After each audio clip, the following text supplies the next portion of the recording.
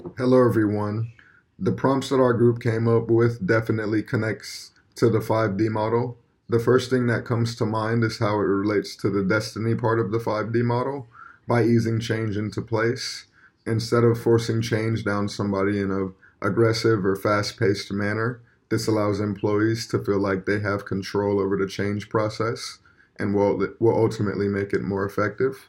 Um, the prompts that we have used also satisfy the dream aspect by allowing employees to shape the organization into their dream company by valuing their input into organizational change and different function of, functions of the company.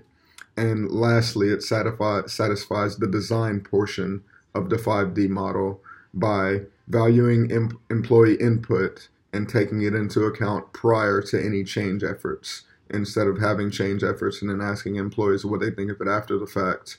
This method definitely proves superior because it will get their input prior to any change and will allow employees to have their own creative input on how they want to change in their change, change initiatives.